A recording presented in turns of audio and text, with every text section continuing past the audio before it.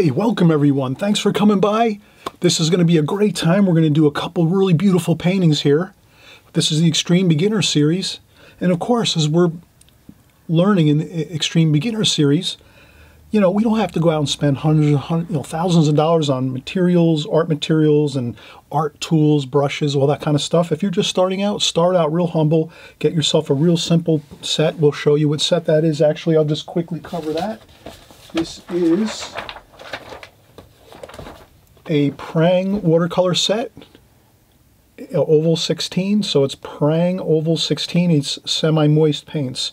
These are really uh, beautiful paints you just spray them once, uh, two minutes before you're going to paint, and they get moist, and you can do beautiful, gorgeous, rich-looking colors on your paintings. You know, right away. No, no worries. No squeezing tubes of paint, or sitting there and waiting for your dried uh, paints to moisten up after you spray them. These are moist, semi-moist paints.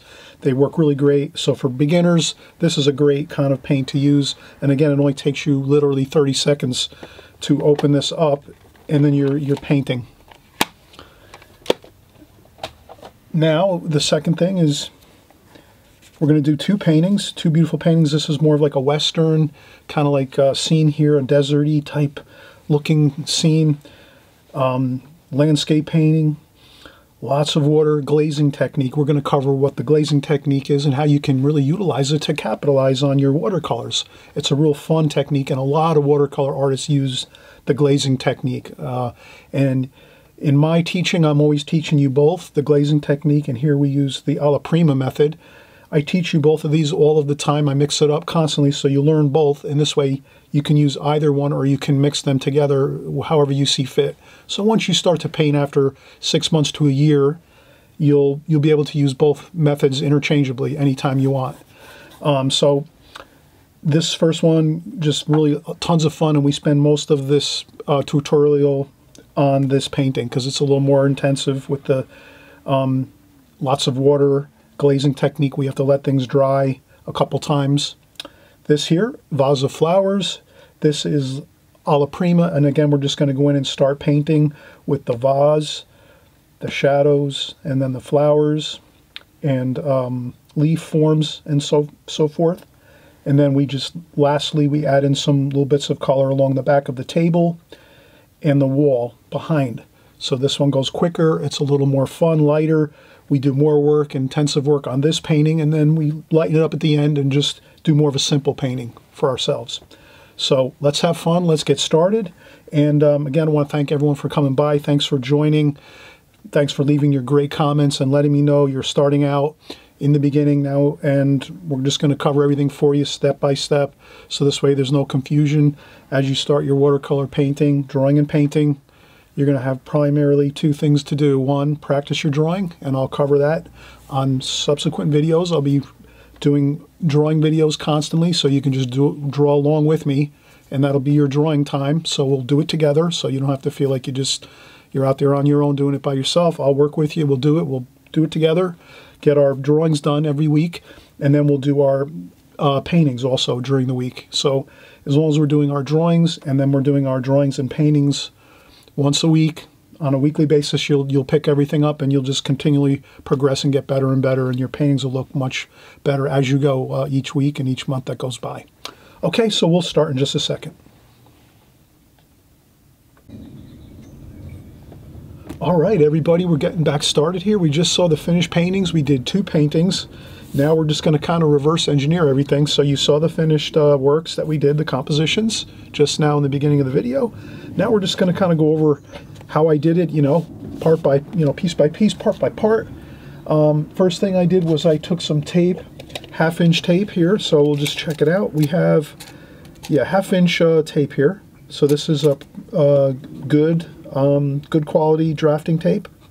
So drafting tape, artist tape, it works great if you can use a good quality tape. This way it uh, it'll be it'll be much more um, less likely to tear uh, tear up the, the, paper fibers along the outside edges for, uh, where you tape. So that's just one thing to remember. Rolls of tape they last pretty pretty long. You know, I, I usually buy a roll of tape like this and it lasts me maybe six months, I guess, or so. So, but it's a good quality drafting tape goes a long way. One of those things where you kind of have to weigh out the options when you're uh, purchasing your art supplies. Some things you may not need to, you know, invest too much money in things. Other things you want to buy maybe a little more quality because it goes a lot further. So, a good um, pro makes really great artist tape. Um, this is the one I use mainly because again, it's got great um, tackiness properties where it doesn't rip the paper up and it also does a nice job of sealing out the water.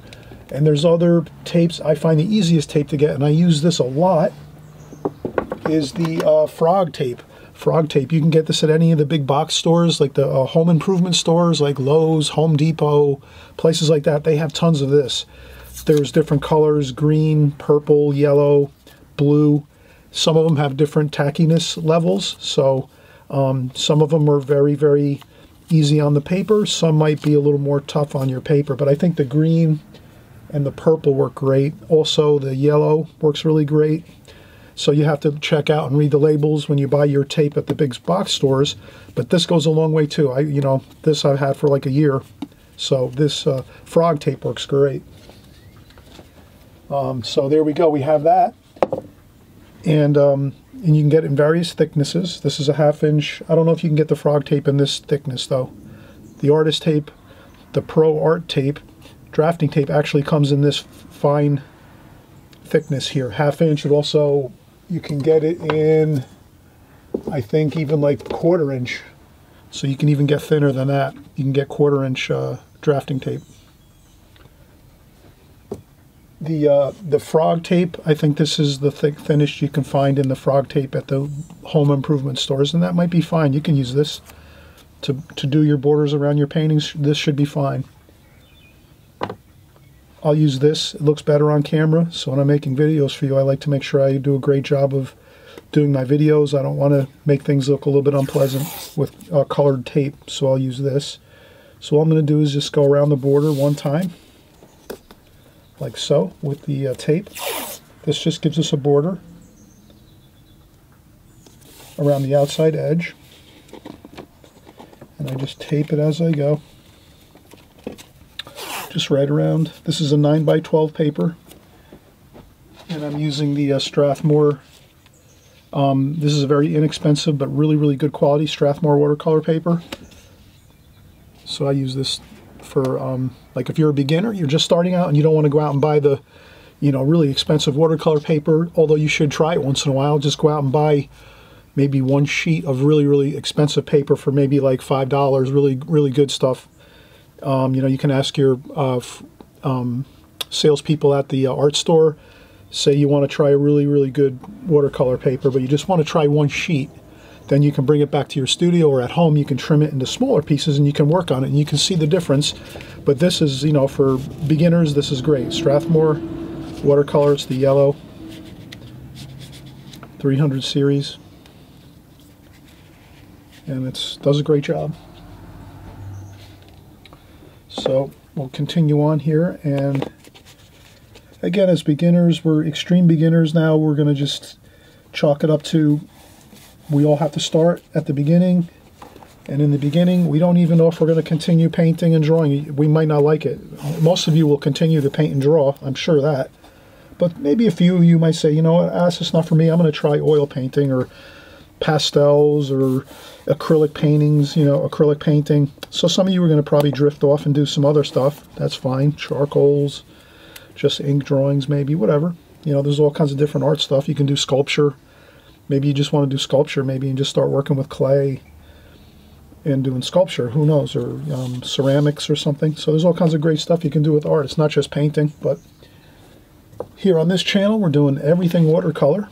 So, so there we have it outside border done. Now we're going to create two sections to this. So then all we do next is um, we can just divide this in half. So this was 12. So we go 6. That's the halfway point. And let me just take, we'll take two pieces of tape. So we'll just go one there and we'll do another one right next to it. And then that gives us the two borders in the center that we need. Like that. So this way when we peel up this tape, it's, it's going to give us a half inch border around all of the paper and then the double wide in the middle is so that we have a half inch border on each of these on both sides. If that makes sense. And we can just draw a pencil line down there so we can kind of see.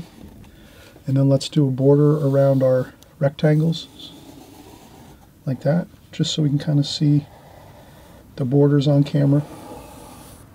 We're working within this rectangle. That's where all the action is, within the rectangle. So you're working in a rectangle or a square as an artist, you're drawing your painting, you're really kind of really lucky. You're kind of very, really lucky as an artist. You, you just have this one area. It's not like you're you know, having to deal with a, a mile or something, or you know, a ball field. It's you're working in this small area. The largest you're going to probably work in is like a you know 24 by 36 inches. So sometimes yes, you'll get a large piece of paper maybe and work on that. But again, 24 inches by 36 inches, still you're you're really focused in on a, a small area, which is really good. So as artists, we're we're really lucky. We don't have to. It's not like we're create you know let's say an architect, they might have to design a, a city or something. So you can imagine they got to deal with miles of information. We just have this one small area. So we're lucky we can focus in on this one area and get all, all of our concentration going right in here. So, okay, I'm going to do this. I'm going to stop the tape now, take a quick break because we've been working quite a bit. We did our um, taping methods, how we do our tape around our paper to get a nice clean border. Once we are done painting, we'll lift up this tape. You'll see the beautiful, crisp, beautiful white border around our um, artwork here, our paintings. And then um, once we do that, or once, you know, I'll come back in like five minutes. I'm just going to take a quick break and then we'll get started. We'll do our first drawing and painting and then we'll work on a second. So we'll do two on this uh, series here, on this video and uh, I'm sure you're going to enjoy this. And uh, I always mention before I go, right down there on the right hand side, the subscribe button. Please consider subscribing to my channel. This way you can get all these videos. They're really important, especially if you're just starting out in watercolor or you've only been in it for maybe six months or a year and you're not sure of a lot of things that um, go on with the watercolor medium. This is what we, what I do every week for you is I'm going over the same ideas, the techniques, the methods, um, all the information that you'll need as a watercolor artist to continue learning, growing. Um, you'll your art's going to get better. You'll find that the more the more you tune into my channel and watch my videos, you're going to learn more because you're hearing the information over and over, and that means you're going to recall it better. You're going to memorize it better. Versus if you just watch one video, you're really not going to learn very much because you'll just hear it once and it's kind of and if you can take notes when I'm doing my videos, if you can take a few notes, you'll even remember more. So if you start a little notebook or just maybe a little sketch pad and you start writing down some key concepts that we're doing here, again, that'll even lock in this information uh, into your memory uh, much better. So that again, when you're working and working on your paintings at home in your studio, in your kitchen table or your living room, wherever you're working, outdoors in the backyard or at a park, wherever you like to paint and draw and have a great time with your art, you're going to remember all these things. Uh, much more if you're watching on a consistent basis. And that's really why I say if you subscribe and you even hit the notification bells, you'll be notified exactly when the video a new video that we create comes out and you'll be learning again a lot of new information and the same information too over and over and over which is going to be great. You'll remember it a lot better. You'll be able to recall it much quicker. So when you're you know watercolor is a fast medium is it not a fast medium right? You put some paint on the paper next thing you know it's drying up. You have to be quick. So if you're going to be you're working with a quick medium like watercolor you have to have a lot of this stuff committed to memory. The uh, techniques and methods so that you're never going to be second guessing what you need to do. It's pretty much you just you're always knowing what you got to do and you got to do it quick and move through your paintings with, you know, a good rapid um, uh, pace so that, you know, you can get things done and things aren't drying on you and looking unpleasant and, you know, things like that. So you'll learn as you go. But I'm going to take a break. I'll be right back. We'll start our drawing and paintings. Okay? Be right back. Okay, we're back from the break and let's get uh, moving here. Let's get moving. Um, this is just my, my art table that I do my videos on. So what I did was I actually taped down my pad here so that it wouldn't move around while we're, while we were taping our um, paper, watercolor paper, right? So I did that. Um, I tend to use now on my videos, I just take a sheet of um, uh, pencil drawing paper, like inexpensive paper. I guess it's called newsprint paper. Newsprint paper I, I bought. I think it's a Strathmore too. It's a Strathmore brand. So I can just tape down a new piece of paper on top of my table every couple videos and it stays nice and fresh and clean looking. So I use that now and it looks pretty good. And maybe some of you are going to start creating your own videos eventually. Maybe you'll start your own YouTube channel and you'll do some of your own artwork on uh, YouTube. I'm sure some of you are going to do that eventually. So being that, um, being the case, I'm just going to kind of show you how I'm doing things here. So that's my art table. I've got the art paper on there now. I just have my camera on a um, stand over the top of the table here. So we have our paper here. Then I'm going to set up my palette. So I'll bring my palette over here. And then I'll just kind of center it in the camera. The thing is, we're only going to work on one side at a time on the painting. So let's do this. Let's try to get this in like that. Maybe I'll zoom in a little like that.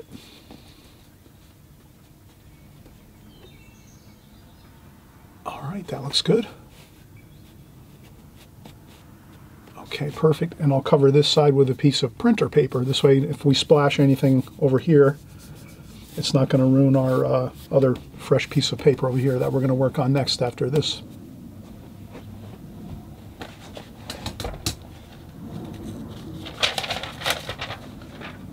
Okay, so I'm going to take some printer paper, I'm going to put it over here, tape it on there, just very haphazardly. It doesn't have to be perfect or anything like that. I'm just going to tape it down so it doesn't move.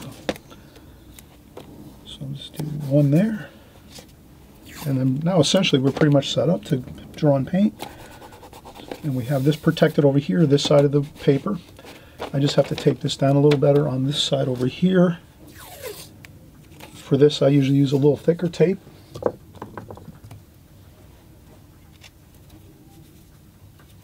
So I'll use a little thicker tape for this over here.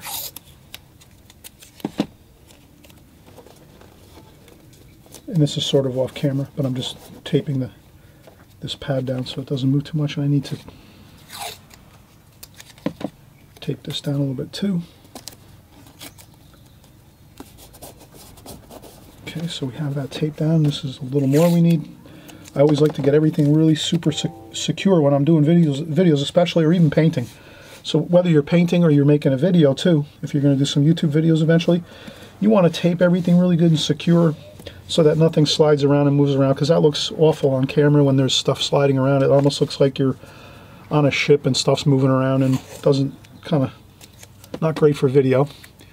So let me back this out just a little bit here. I want to get that palette in there so we can see this, all the mixtures that we're doing with the paints here. And I'll take my palette down too as well, just a little bit, just so it doesn't slide around and move around. Very important.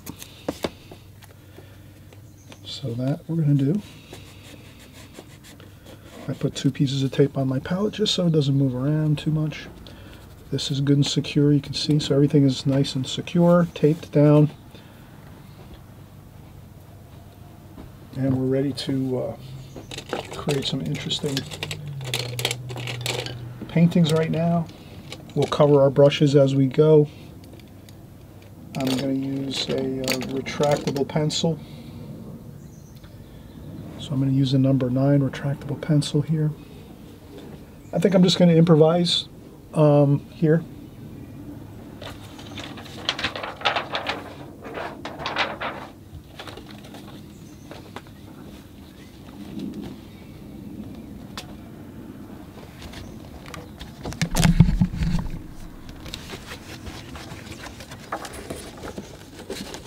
Just going to adjust a few things here. Okay, so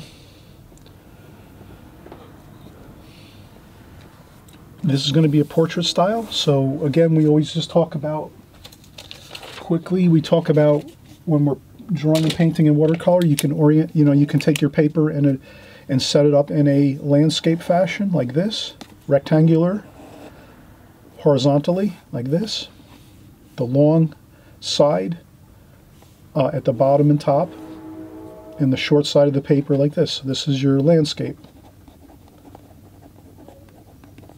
Landscape uh, view. Or you can set your painting up and do a portrait view, like so. And this is considered a portrait view. So that's all. We're just looking at these two. Which one are you going to use? It depends on your painting, what you're going to paint. You can adjust it to your liking. Some people might like portrait view better. Some people might like landscape style. Maybe maybe people like both the same. Probably this is the more preferred. Most people would probably choose this um, this setup on a painting versus the portrait view. But a lot of people like the portrait too. I would say maybe 60-40 um, but I'd have to go back and look at my notes that I took years ago to kind of see. I think I did a little study on that years ago. And so let's get started here. Maybe we're just going to do a quick, maybe we'll do a beautiful like western scene, maybe out west somewhere, some mountains, some desert.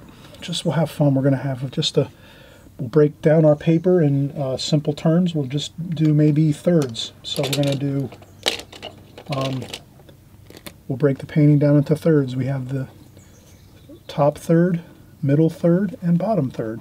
So here we have thirds, one third, one third, one third. And then we're going to um, use that as our game plan. I'm just going to improv here. I'm just going to make a, a level line here. This is going to be like the mountains in the background. Like that. Then I'm going to have maybe a little, who knows, maybe there's a little lake over here on the left side. And then maybe there's some interesting, maybe there's a road. Maybe there's a, a road coming into the scene like so. Like that.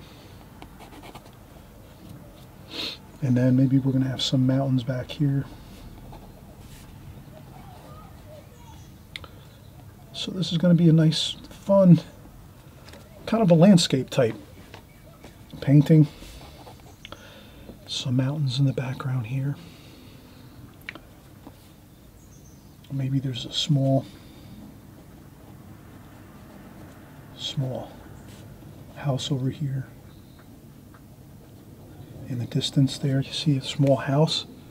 We just create a little small house very simple.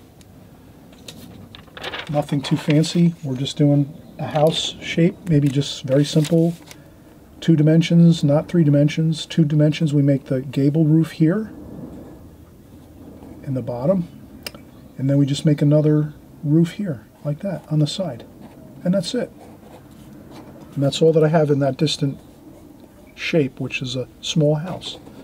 So that's basically just the basic idea of that. Let me put a put a door on there, a couple windows, maybe a couple windows there over here. Maybe we won't see those details like that on the windows because it's very, very distant here in the very, very distant part of the picture. But just it's there. And I think that's really the main kind of detailed uh, subject matter we have here, and it's we'll have some. Maybe we're going to do some. Uh, we're going to do some cactuses here. A couple cactuses. We're out west.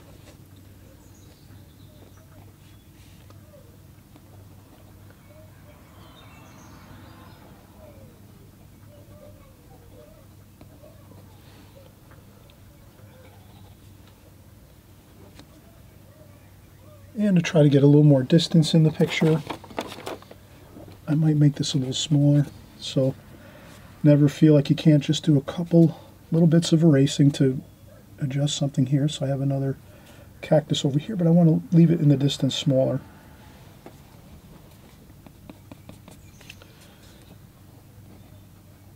Like that. One over here on the right hand side a little larger. And we have some lines for the roadway and some grass and things over here. We'll have a little bit of brush and weeds and things here in the in the foreground. We'll have a nice big beautiful western sky. We'll mix up some blues for that and some golds. We're going to have fun with our color mixtures here. And um, I think that's pretty good. Maybe we'll do another maybe we'll do another house over here. Maybe we'll just do a, a ranch like that.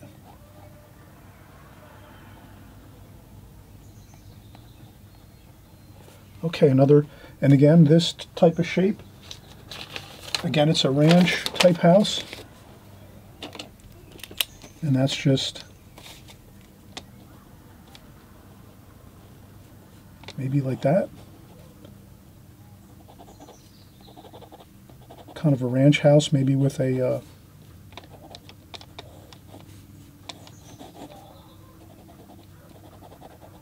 maybe door there and a couple windows. You don't have to put the doors and windows in if you don't want. And this might be like a shed roof, and this might be open back here. Maybe this is the back of the house, open patio with some roof over the top, like a nice covering over the roof, a canopy. So that's the other shape we were doing there, just to kind of draw that larger so you can kind of see what I did back here a little bit. Again, these are small little indications of things. Um, this one seems like it's too large, so I'm going to make this smaller. Again, don't feel like you can't change things. I'm going to change, and I'm improvising. That's why I'm doing a little more erasing. If I was drawing from a picture or a photograph, it might be easier. I might have nailed these quicker. And But when you're doing improvising, which is great to do, and please do, please do lots of improvising. Sometimes when you're improvising, then you have to change a little bit. You have to maybe maybe do a little erasing. So here I made this too big this house should be further in the distance than this over here. So that's why I'm making it uh, smaller like that. So this looks better now. This one looks a little bit larger, a little closer. Even though it's not a lot, it's still closer. This is a little bit more distant. Uh, who knows, maybe we'll make a... Maybe we'll do a... Uh, maybe we'll do a, windmill here. Uh, I will do a windmill. Tower. Like that. And just indications, don't don't try to draw this perfect. If you can just get the basic gist of it. You kind of see what I did there. My windmill is not, not it's, it's kind of small here, the windmill, it's basically just a little bit of a, almost like a lighthouse with some X's in there. And then the wind fans here for the wind. And then a, and then a very skinny triangle like that. So if you come up with something, anything looking like this, you're going to be fine. And there you have it.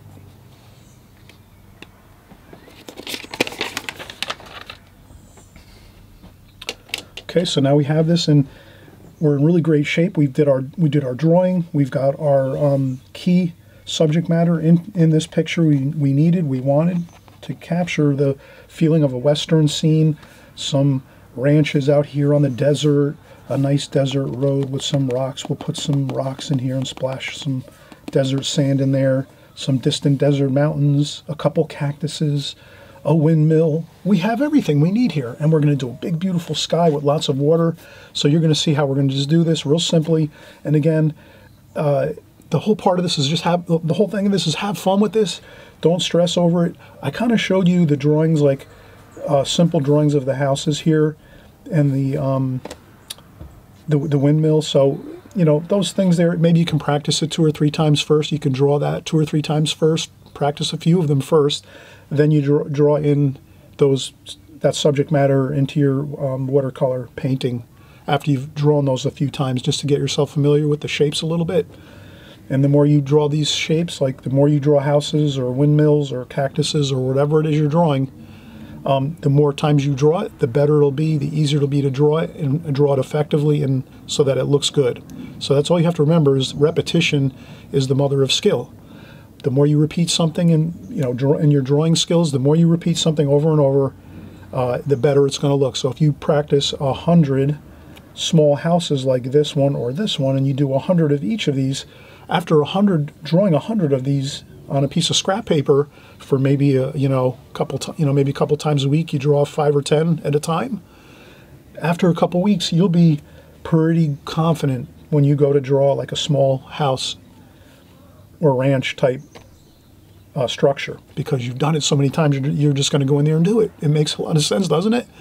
Repetition, you know, the more we do something over and over, the easier it becomes and it gets locked into your mind and you, and you have a much easier time of just uh, doing it effectively. So let's continue to practice our drawing. Let's continue on with this painting. Let's start the painting process next. I just want to take a quick break and then we'll come right back and we'll uh, start painting.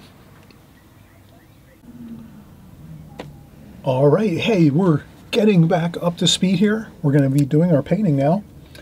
So let's um, take the approach of we're going to um, just take a pause for a minute here and think about, okay, how are we going to do our washes here? What, what kind of method are we going to use for this painting? And I would say our best, me uh, best method here is going to be the glazing technique.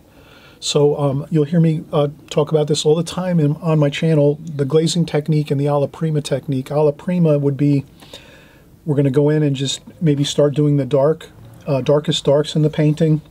And then after we're done with the darkest darks, we'll, we go in and we do the lighter washes and maybe finish up with the very, very super light washes as we go. And we really don't necessarily have to let washes dry so much. We can kind of work through the painting all at one time. So if you're someone that likes to paint for like a half an hour, 45 minutes to an hour straight, and you don't really need to take breaks, let's say, alla primas maybe, it works good. So, but for this painting, the glazing technique is really, the, you know, the real optimum way to paint this. And the reason I say that is because we're going to do a really beautiful watery sky and some really warm and cool colors everywhere, blue and gold in the sky. And then we're going to bring those colors down into the foreground for this. And then we're going to let that dry 100% and then go back in and do our dark details throughout this painting. So um, the key to this is just we take a pause before we go in and start painting and just um, think about how we'd like to do this. You could try this in both methods. Maybe you could try this in uh, alla prima, which is just start in one place and just start painting with your, mostly your darks and then you work around until finally you do your lighter washes last, maybe your sky washes last. Or we're going to do this here in the glazing technique, and that's we're going to start with our light washes, our really watery, really heavily, um, uh, heavily watery, watery, you know, type washes on top of this paper as we go. First, let it dry. We could blow dry it, and then we come back and do our darker darks and do the, some of the details of this painting. So you'll see the glazing technique, you know, technique here um, and see how it works. It does work really well. And uh, again, we're going to work with our same brushes that we use on a consistent basis. We're not going with top of the line brushes. We're going to use some of these. Um, I have, uh, these are Princeton brushes, Princeton art brushes. And I'm using a 5 8 flat brush here. So that's one brush I'd like to use for this painting. And also, I think I'm going to find um, a couple more that might look pretty good with this. Let's try.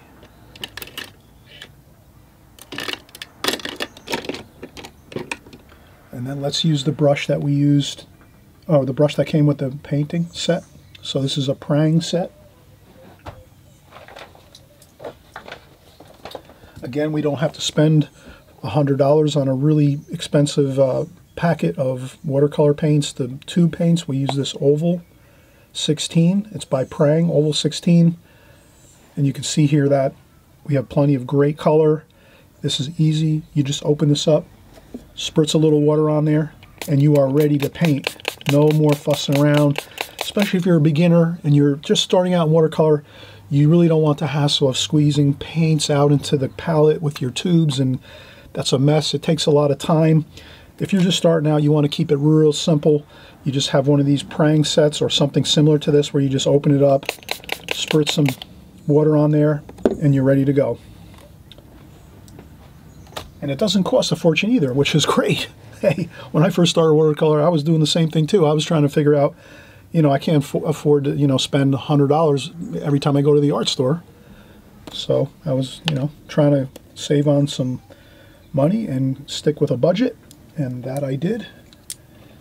Then after a while, I started getting some more brushes and you know more expensive things. You know, I'd ask for things at Christmas time and at my birthday, so I'd get a, an expensive brush on my birthday from one of my family members, or an expensive uh, palette from one of my uh, family members at Christmas time or whatever. So it's always uh, good. Takes time to build up some really good tools for watercolor, but you just do it as a little bit at a time. So now we're going to have fresh, clean water. So this is fresh clean water and then we're just going to add a bunch of water right onto the paper right here like this on the top portion of the sky. Doesn't have to be a ton of water, but you just want to get some water onto the paper. And then I'm going to carefully bring it on down into the mountains, which is fine. Then once I get to the ground area, I just want to leave some lights where this road is here. So this little strip of roadway, I'm going to leave that white paper, and I'm not going to actually add water to that. I'm going to let that just be. And I'm not going to actually add water over here either. I want to leave a light patch of like a 7. So if you can imagine, I'm leaving white paper and I'm not putting any water, water on it as I'm painting right now. So I'm adding water to both sides of this, but I'm leaving this open. Let me draw that quickly. So with this painting here, I'm just basically, here's the mountains, here's the here's our portrait, here's the mountains. I'm wetting all this area up here of the sky and in the mountains. I'm wetting that with water, but I'm leaving a, a patch of like a set, like a, the number seven here, like so. I'm leaving this dry. I'm not putting any water here, and then I'm putting more water over here and over here too. So I'm just leaving like a 7 or a T type shape there with paper with no water on it. I don't want to get any water on that part of the paper. And somehow I got a little bit of printer paper ink on my watercolor paper. Not a problem. I can work with that. It's kind of a tan color. Actually looks good. Let's leave it right in there. That's going to look nice with this painting because it's a desert painting. So we like the desert colors, tans and browns and stuff like that. So again, let's put some water up here in the sky. We want to make this a real beautiful wet sky. And then again, some of that water into the mountain areas and over here on the right and the left. And then we're just leaving that seven shape with no water on there and just leaving that white paper. And let's see how that works. Okay, now let's do some beautiful blue for the sky like that. That looks really good for the blue sky. Then maybe over here on the side, I'm just going to mix up some brown and some black, just for maybe a little bit of a hint of a dark color in that sky. Some gold over here. We're going to put some gold and some brown and some orange. We'll make some going to be a golden color for the sand and then some green. We want some green over here. We want to make that a little more, add some brown to your green to give it that more of a green, kind of a warmer feel, brown. Maybe a little bit of gold and orange too in that brown, in that green. That looks like a pretty good kind of a green. All right, so those are our colors for the most part.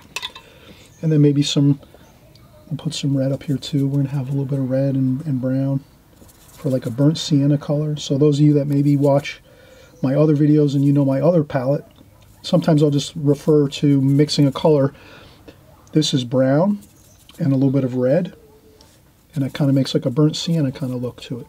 Maybe a little more brown. Maybe some cadmium red. And uh, yeah, that looks pretty good.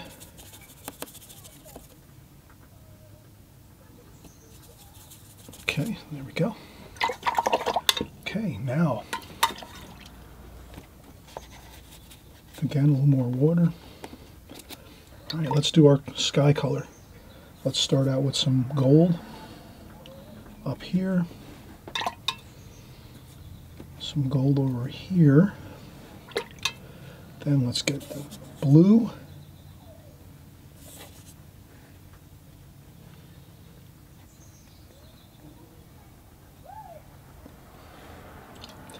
And we'll just let that flow down the paper. Look at how good that looks.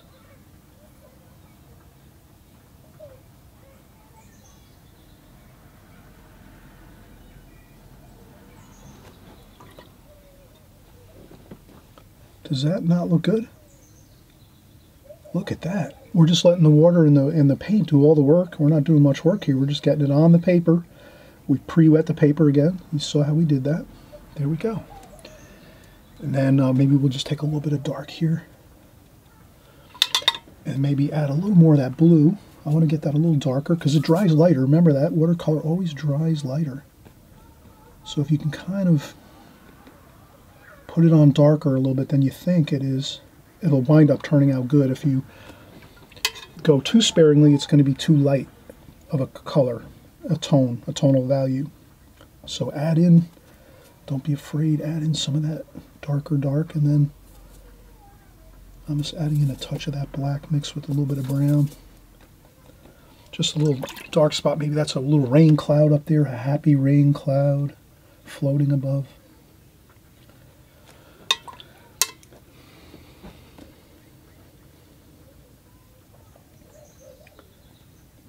Okay.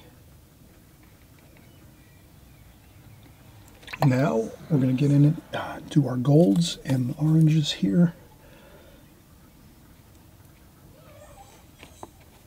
Like that. And then again, my I like that darker look, right? More, the tonal values are a little darker here. I'm using more paint. Yellow, orange, brown. And I'm using some of that darker dark. A couple of splashes. And then a little more of that yellow here. A little bit of that lemony yellow here. Let's add a little bit of that. But I want to keep this kind of that seven shape looking good where that white paper is. And if you have to lift up, lift up a little bit of the water, you can see that water's kind of paper towel, like that. Then we could take our round brush that we have. We could take that round brush and we just carefully go in. Now that we're sort of We've got the main colors on our paper. We're just going to look around and we're going to say the sunlight's coming from this direction. So we're just going to make sure we I'm going to splash on some sand kind of a feel. So I'm just taking my brush, adding a little bit of this paint, this paint here, and just doing some splashing. If you see that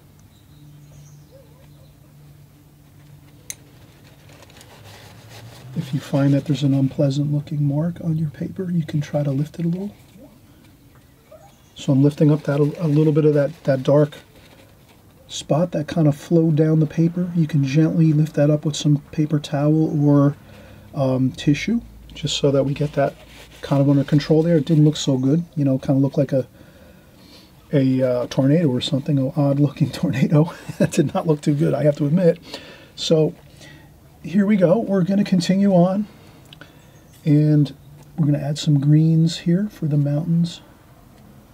So here I'm picking up those greens and this really helps. Does this does this make sense?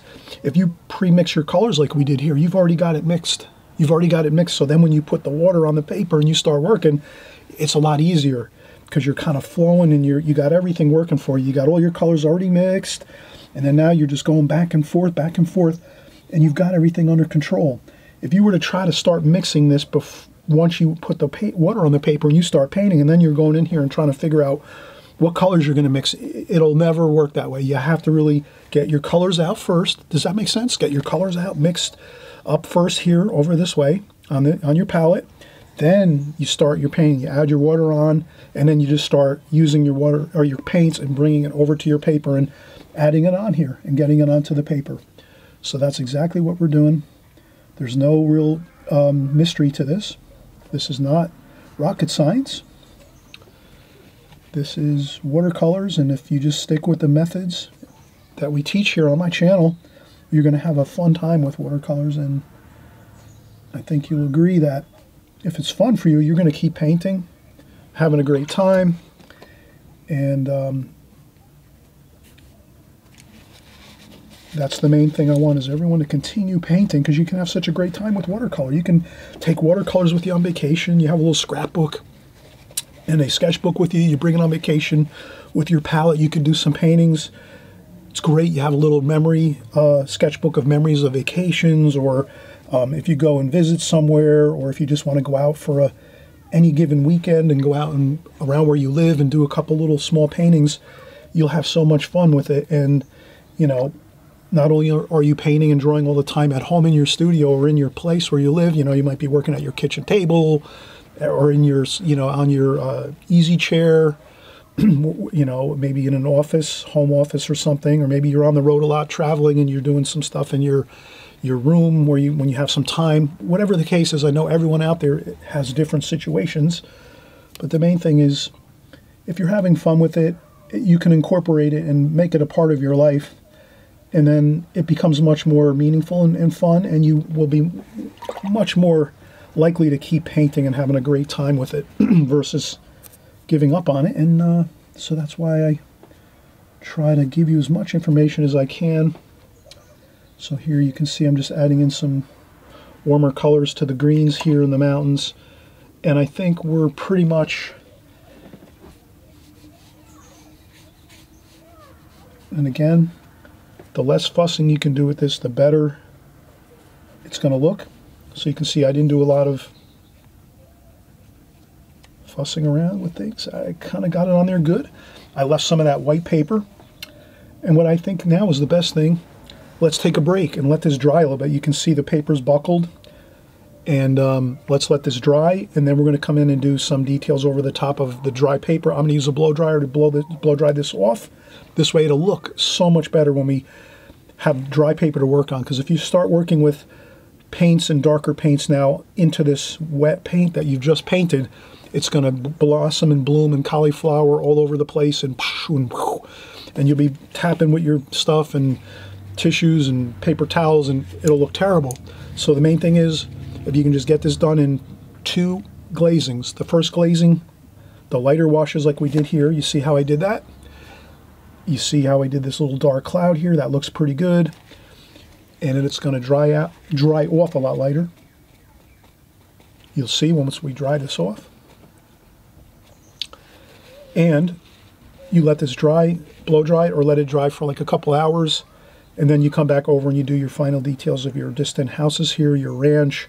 We'll do this um, uh, windmill, some of the uh, cactuses. We'll speckle on some more paint for the desert feel, a couple directional lines. You'll see it's going to look really phenomenal. And again, it's not that difficult. It's just really following the steps. So I'm hoping you're going to follow the steps here. It's real simple.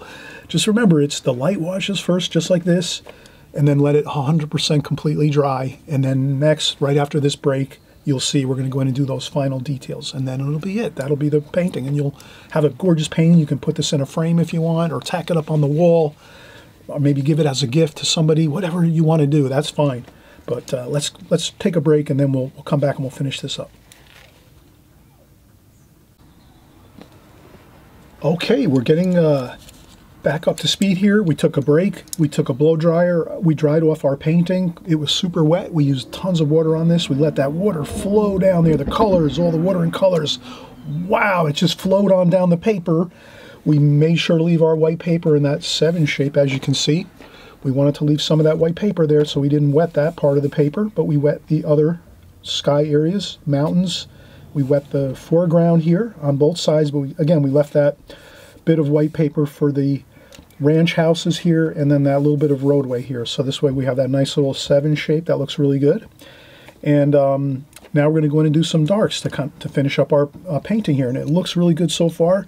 Now the key is not to go overboard with too much detail. Let's just sort of think things through here and say to ourselves, all right, we've got the majority of the watercolor on the paper.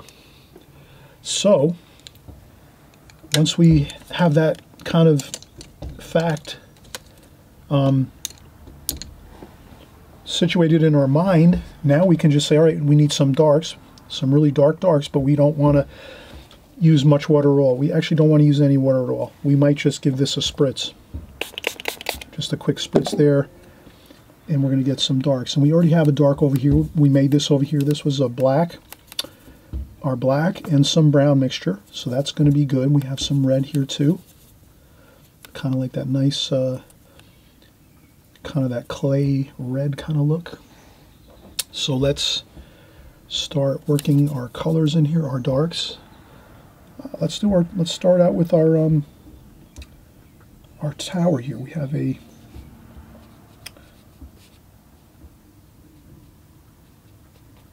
a windmill like that. And if you need to,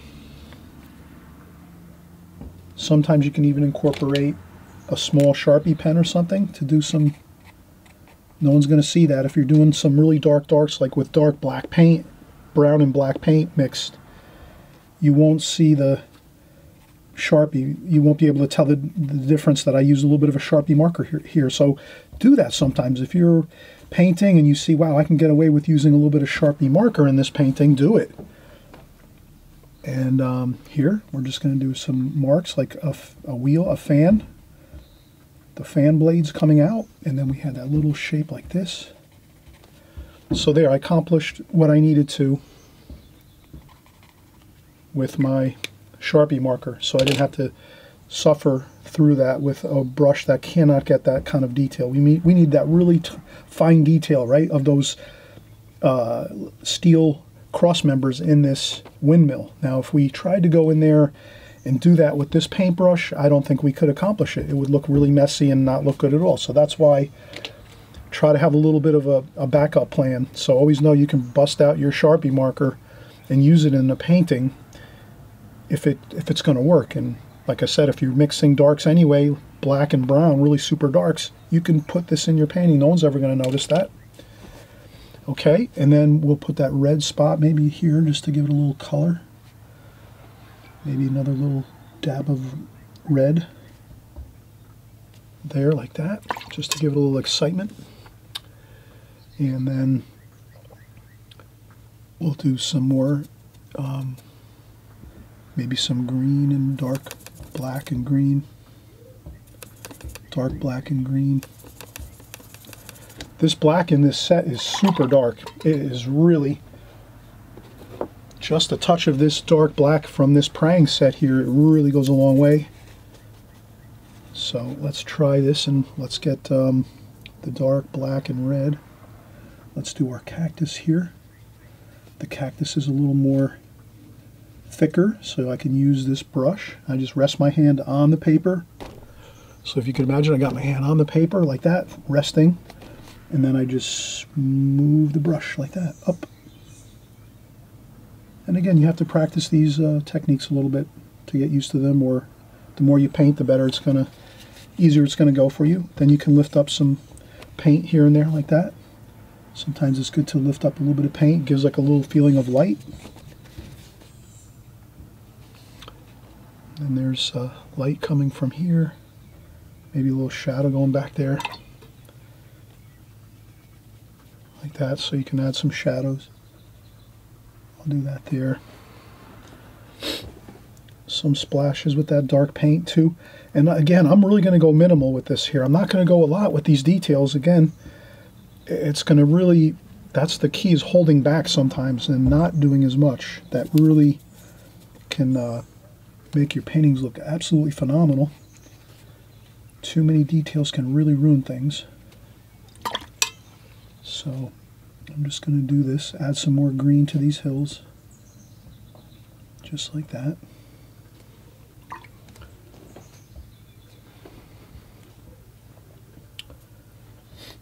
And there's some darker hills here. So I'm just flicking on the paint there, I'm getting it on. And I'm going around this ranch house here. You can see. Like that. And you can lift up a little bit of paint there if you need to, or here and there. Trying to get some of those mountains in the background, kind of undulating back there. Then we can go with some of that darker paint around this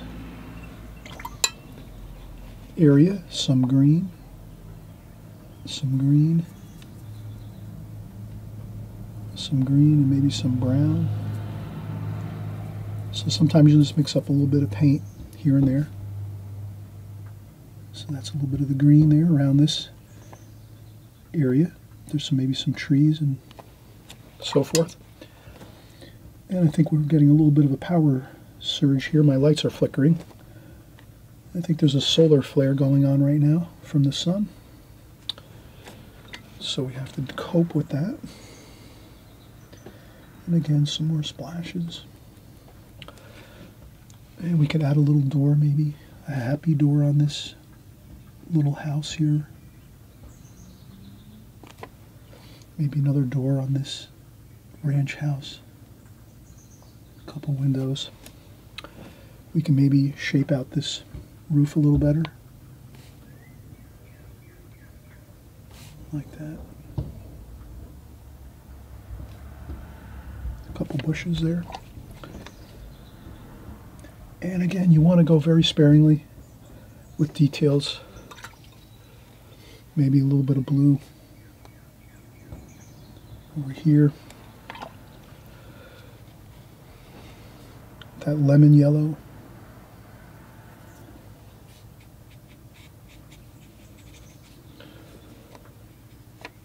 Put a little bit of that lemon yellow here. A little bit of the gold color.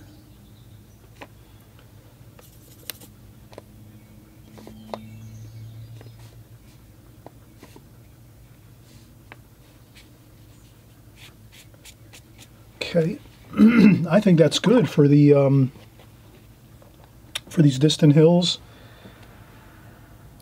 Think we have it. We don't want to go again. Too much details can really cause a problem. There we go. And uh, maybe a little bit of gold on this roof, like that. Maybe a little bit of gold over here on this side. There we go. And you can see very sp sparingly details. And then now, maybe we're going to take some red and we're just going to have maybe a couple of couple of uh, marks here on the paper. A couple of weeds like that.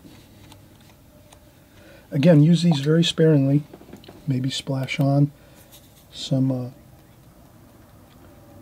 very lightly splash on over here in the foreground for the uh, sand and that sand type of feel.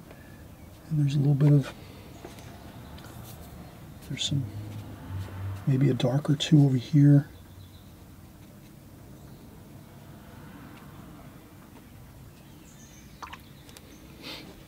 Once this dries a little bit you might be able to scratch out a couple lights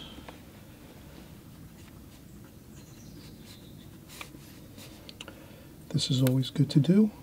Some uh, directional lines. Finger painting a little bit, you just take your finger and drag it across the paper.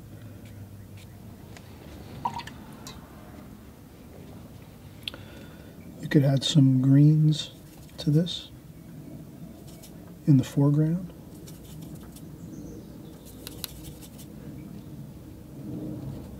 Just a little bit of color.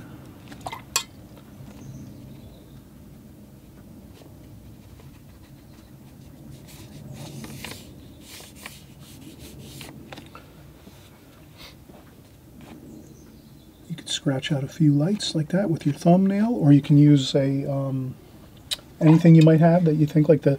Sometimes I, I use uh, chopsticks. I have chopsticks that I use all the time. I use them to uh, do some scratch marks. So I just have a chopstick and then I use a small knife and I just make a little point on it. So you can make some really nice details like that for yourself. Some highlights like so. And I think that's good. I think we really have gotten all the detail we want to get in there. We don't want to, again, go overboard. Too much detail will ruin a painting. That is for certain. So always remember, you can always go back in a day or two later and think to yourself, oh, maybe I'll add something later. Better to tell yourself you're going to add in things later, but stop short of finishing your painting versus keep adding things in. Then it's too much stuff in the painting and it looks distracting. So you can kind of see I didn't do much detail here. I did enough that, so let's peel off our tape, take a look, and we're going to do another painting just in a few minutes. We're going to continue on with this, but we just wanted to get our first painting done here and see how this looks. And certainly this looks really nice. It looks pleasant. It looks like a positive, pleasant painting. Tons of beautiful water uh, washes, that really gorgeous um, signature look of a watercolor with tons of water on there. And a gorgeous scene, a desert scene here. We got beautiful desert houses, some ranches, and we have ourselves a windmill and a couple. We have a nice looking cactus there and some brush and weeds in the foregrounds. Here we scratch out a few lights when we paint over that dark paint. Then we scratch out a few lights after it sits for about a minute, 30 to 60 seconds. You can scratch out a few lights like that and I think that really looks good. You can always sometimes too do a little bit of um, finger painting. You can blend out some stuff if it looks too. I, I kind of I went over onto my edge here on my where I taped this off, but that's okay. We put a mat over the top of this anyway um, to finish it off and put it in a frame. So if it comes out really good, everybody, put a mat on it and frame it. Why not? Set it up in your house, maybe give it as a gift, whatever. All right, so we're done with our first painting here. I think it looks really good. I'm, think, I'm thinking you're agreeing with me. It looks really good, and I'm sure you've done a great job completing this painting as well. And uh, I'm sure you'll try it again, even maybe two or three times you'll, you'll, work on this to get the right effects and the right look you need. And um, we'll start with another painting in just a few minutes. I'm going to take a break and we'll come right back. We'll clean up our palette and we'll start with a new painting. Maybe we'll do something a little different, maybe a shore scene or some flowers. Uh, I'm going to think about it when I take my break and we'll come back and start another one. Okay, we just changed our setup, so now we're going to do our second painting. We're just going to do a real simple uh, flower uh, arrangement in a flower pot. We'll keep it real simple. We worked really hard on our first painting so that uh, you know that um, uh, desert scape scene that we painted. You know that was that took us a lot of time. We went through a lot of um, different methods and procedures. Let's keep this a more simple painting right now. So we'll kind of um, start out with just a, a, simple idea. Maybe we'll have a table about uh, one third up. We'll have a table across here. I'll just make a, a line, and I'm using the other side of the paper. We started out with the um, one side of our paper where we did our um, desert scape, uh, western style uh, landscape painting over here. And now we're going to use the other side that we already had pre-taped. Maybe I just need to um, tape down my uh, palette here, which I did not do. Let's do that. So sometimes it's good not to overwork and do too much, you know. Um, maybe maybe at times we'll do a more difficult, challenging painting, and then we can then change it up and do more of a simple painting. Um, paintings actually take a lot of energy to concentrate and focus on all of the different uh, methods and techniques and processes we're using. It definitely um, uses energy and it can make us tired actually, you know. If we're painting two or three paintings in a day, you know, we'll feel tired after that actually from all that concentrating and all the effort we put in. So we did a lot of effort on that first painting. This one here will go a little bit uh, less uh, intensive. Let's do this here. We'll get our, we're just going to do a simple vase um, with some flowers in there. Let's try this. We're going to make a, try to fill up our subject matter here in our rectangle. So here we're working within this rectangle, this space right here. Let's make sure we fill it up with subject matter. We wouldn't want to draw, you wouldn't want, want to draw now a, a, a vase like this size with flowers in it. You know, that would look really unpleasant. And when we have all this space here, let's use up this space and get some um, good amount of subject matter in our picture frame, our rectangle. And I'm going to just tape this down a little more too as well.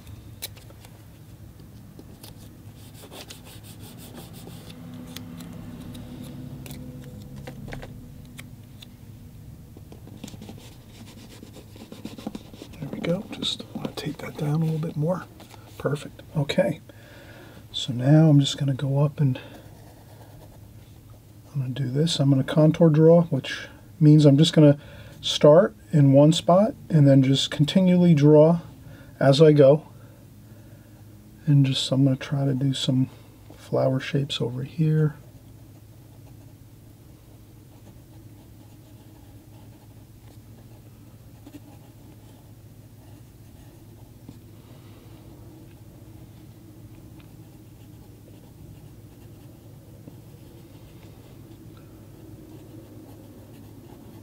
I'm just trying to follow the picture on in front of me. It's a picture I really can't put online because it's um, has a copyright claim on it, so I really can't put it in my video. So it's best too if you can work from my finished painting. So here I'm just working around this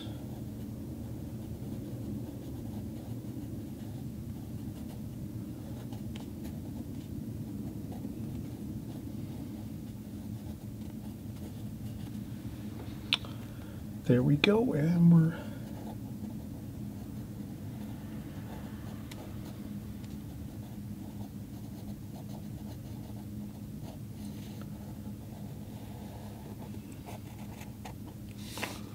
Okay, there we have it. A simple vase, some flowers.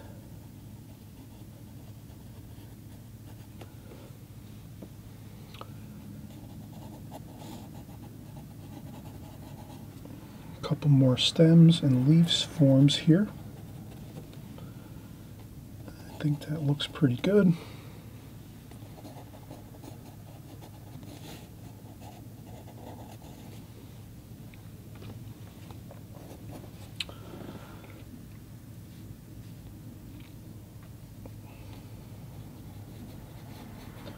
A little bit of a shadow underneath the vase here. Lights coming from over here. We'll make, we'll make our insignia up here. So the light's coming from here.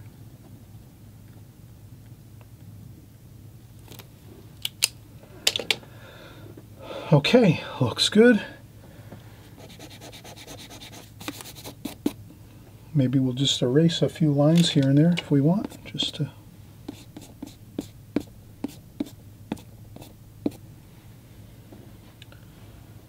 ready to paint. And I think we're gonna, maybe we'll use our Simmons here. We have a number six Simmons round brush, and this is a, a synthetic brush. And again, when you're starting out, this is, you know, extreme beginners series, and so you're probably brand new at drawing and painting in watercolor. So you're not going to go out and be buying a hundred dollar brush and for watercolors, you're starting out, you have some simple brushes, um, inexpensive paper, inexpensive palettes. These happen to work great too, these um, Prang palettes. But the, the key is, you know, when you're starting out in the beginning, you know, you might decide you want to do oil painting for some reason. You know, you might decide you're going to do sculpture and you don't really want to work with drawing and painting. That's fine. Everyone is different. Sometimes in, in your art uh, endeavors, you might decide you want to change up and do something different, maybe pastels. There's so many different things you can really get interested in and learn about uh, with art, photography. You know, there's just so many. So always remember, keep your options open. Don't feel you're locked into something. Maybe it may not be for you, painting, drawing and painting in watercolor. I think most of you can do it, and most of you would actually do really well at it. But you have to, you know, really have that you know have that uh, really desire for it, that excitement about it, and if if you feel that little bit of magic and excitement, then you just keep going and keep going, you, and then eventually you'll start to pick up more and whatever. But you know, in the beginning, you start off humble and uh, minimal things. You don't have to invest too much in it. And uh, so I'm ready to go here. I got my brush we're going to use, some fresh water in our water pail.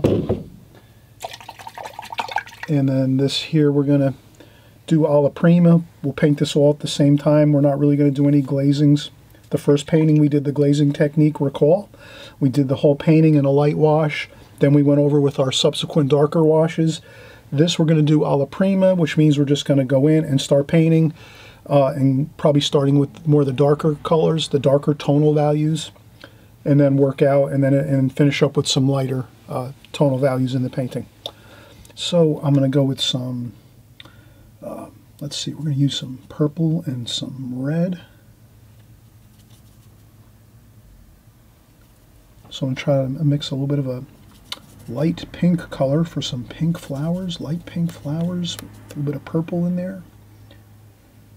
Put some purple up here. We're going to keep this a light painting too. It's going to be very light. We're not going to probably be going in and doing a lot of darks in here. Some, but not, not too many. Okay, so we've got that pink. Looks good. Maybe for the vase we'll use some orange and gold. Yellow and orange. Maybe a little touch of red too.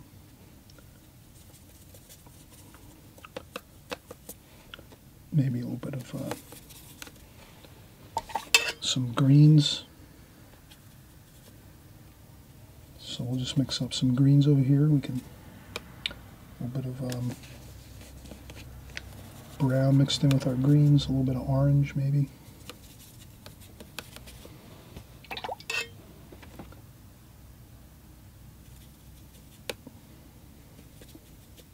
Okay, that's looking pretty good. I'm just going to get my uh, apron on.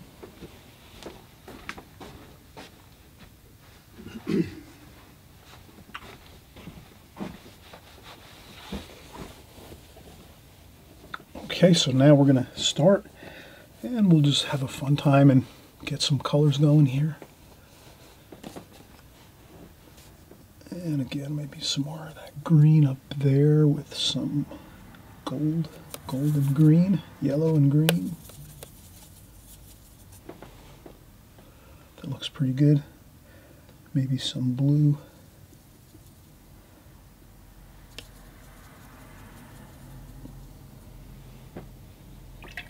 Okay.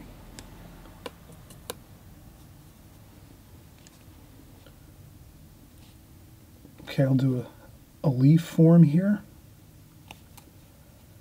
And another maybe over here.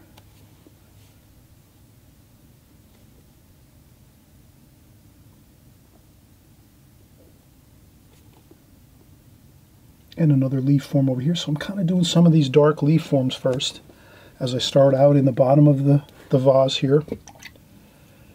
And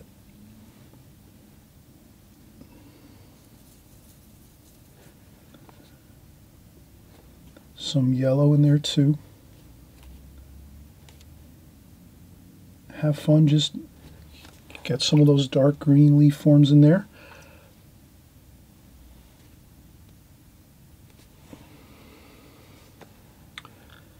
Maybe some of that orange, or we're going to start going in and doing some of that orange color for the vase.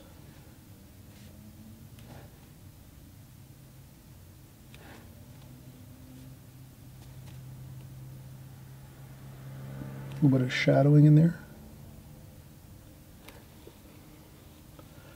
So I'm doing the shadow color underneath the green leaf forms for the vase. Light's coming from this direction, so quite a bit of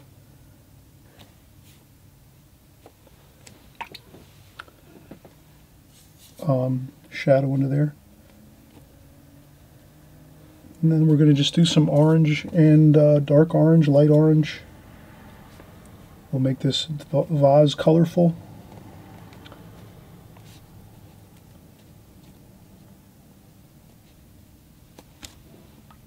Then we'll do a shadow color, maybe some purple. Maybe mix in a little bit of brown with the purple. A little bit of the orange too.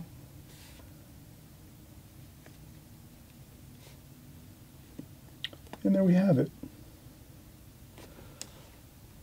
A good definite shadow there for the um, vase, and then as it project, projects outwards, where the other flowers are. We just make it a little lighter. More water, less dark. We don't want it as dark now. We kind of have the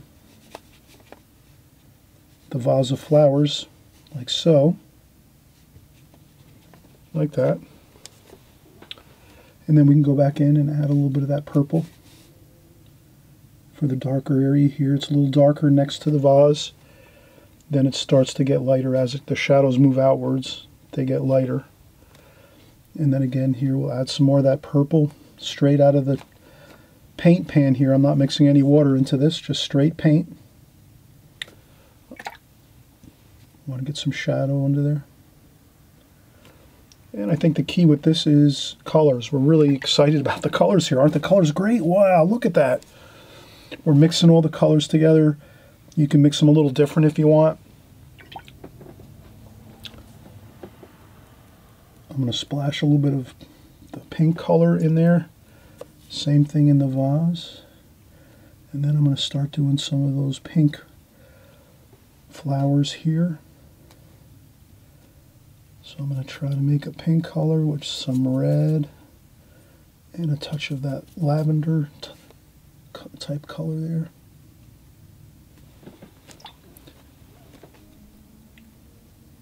There we go. I'm going to leave some room. We will be painting in some of these stems and leaf forms. Maybe some of that purple over here. A little bit of splashing. And the key is to just have fun with this, mix up the mix up the colors, you know. Let's not just take one color like this here and just take this all and just start filling in the whole, let's, filling in the whole bouquet. Let's take some of this color here and there. Leave some white paper in there. Don't fill it all in, please. Please, please, please. Leave white paper um, in your bouquet. I'm making small flower shapes, petals, I should say, petal shapes here and there.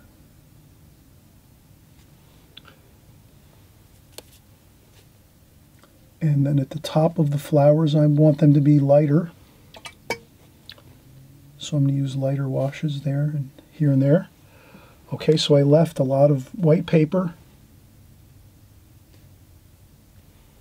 Let's go back in and get some of our greens. Plenty of greens all mixed around here. And we'll start doing some greens here and there. Just kind of mix them in. Follow the pencil drawing we did. So we did some of that pencil drawing. Very important to get that pencil drawing in, right? This way you have a, like a blueprint for yourself underneath as you're painting. Then you can kind of say, all right, I got to make sure I stick with my game plan here.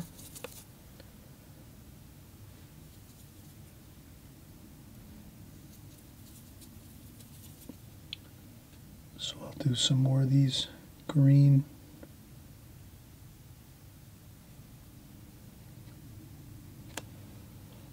Flower shapes and then this one here. Maybe I'll go you can just go off and grab one another green color here.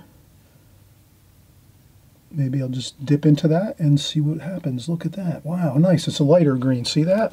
So we want to kind of modulate your colors change your colors as you go we want to avoid that, like just using one color and painting and painting and painting and painting with one color.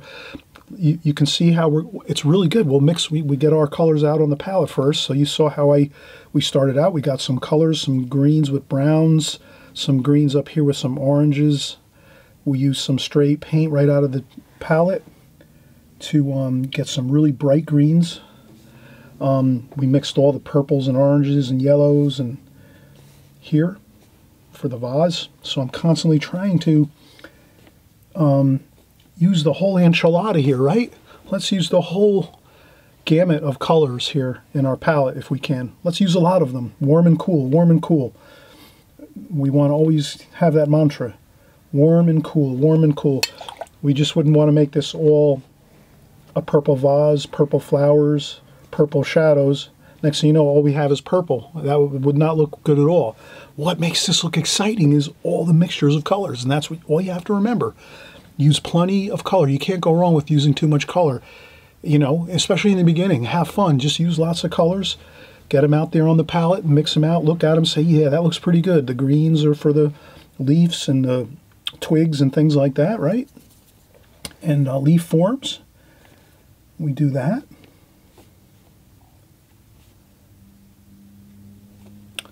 And then we have our purples and pinks here and some purples and pinks here for our flowers. And then our vase was purples and oranges and reds. And purples here with a little bit of um, brown mixed in there for our shadows, like so.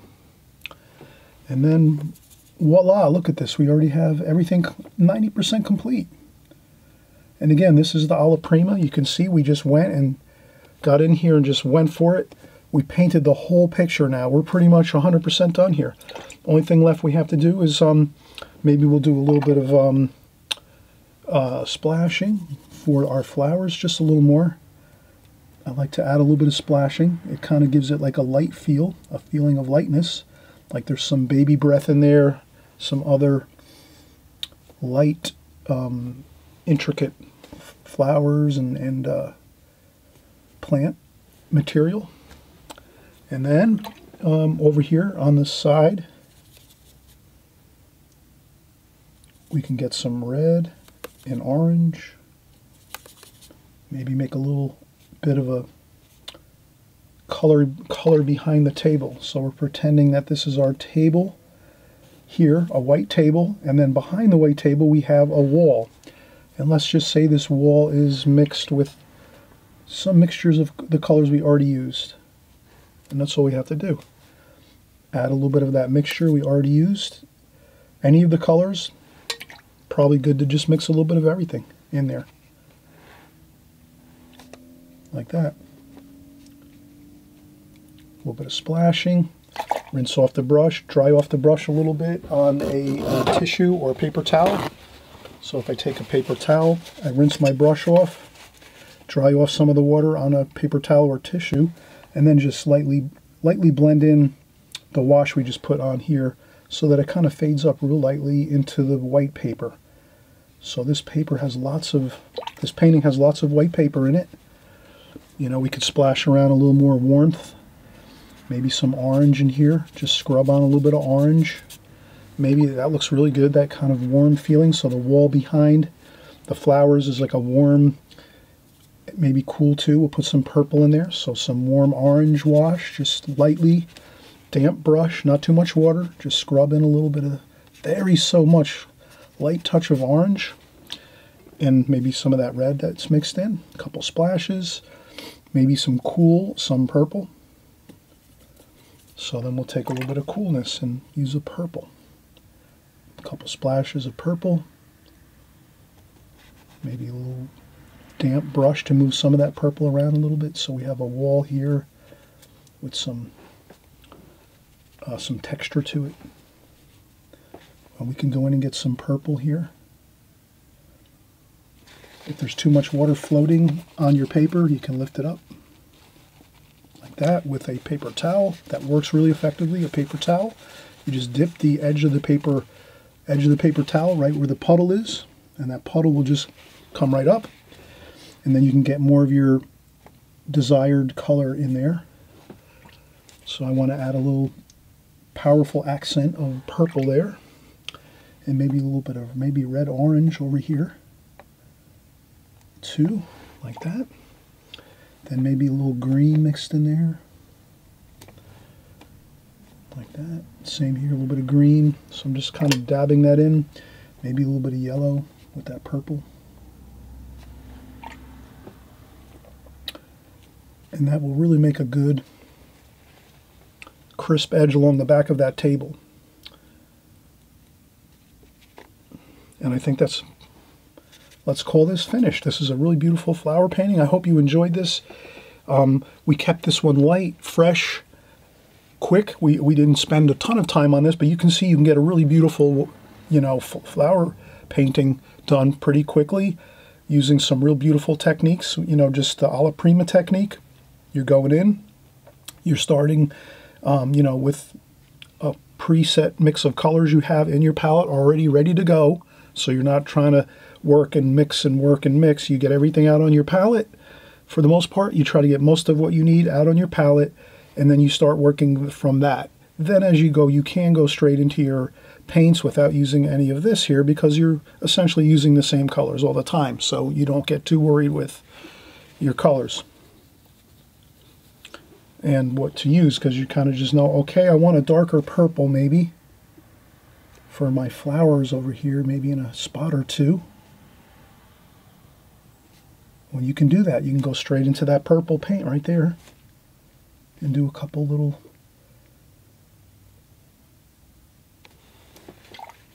spots of uh, purple.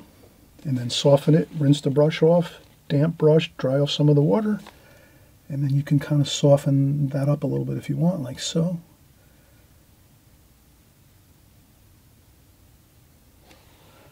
So you can do a little bit of adding some bits of uh, interesting darks and lights here and there.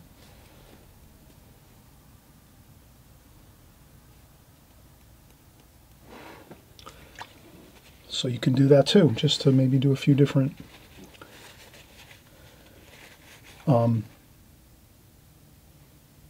more exciting bursts of color if you want to do that. That's fine. Once you kind of have everything in there the way you like it, then there's no reason why you can't add a couple of those little, you know, accentuate things a little bit with a little more powerful color in there, which is, which is just your straight paint right out of your pans and not so much using some of this, which we've already mixed, and it's very light. It's not strong. This is a much more, can you see how that's a darker tonal value? That's how you get your darks.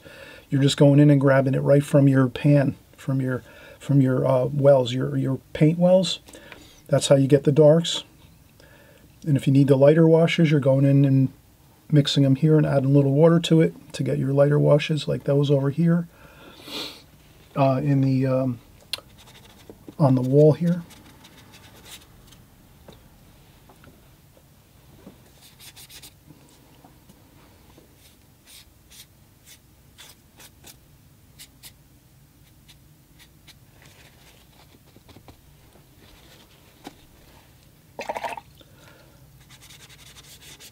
That's about it. I hope you had a great time here. Again, thanks so much for coming by.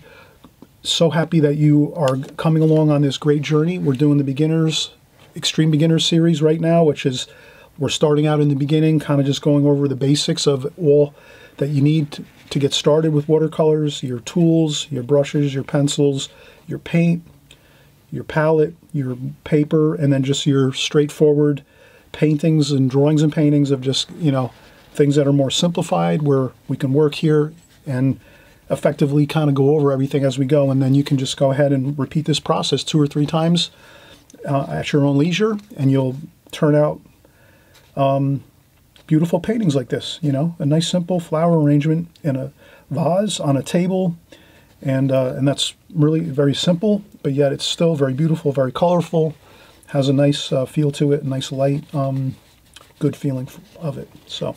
We'll see you on the next video, everyone. Again, thanks for coming by. Thanks for subscribing, and uh, we'll see you soon. Bye-bye.